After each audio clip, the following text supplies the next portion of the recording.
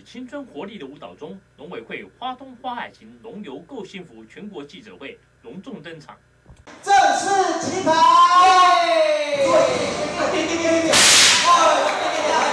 一二三，耶！农委会主委陈宝基致辞时，极力推荐广达七千多公顷的花海。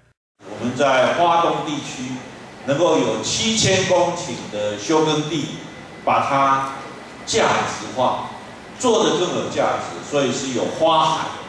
这七千公顷的花海横跨十三个乡镇。现场还公布了票选第一名的富里创意便当。加冕仪式那个光来了，有四万四千多人来参加，我们获得了七千多票，歌品动算便当王。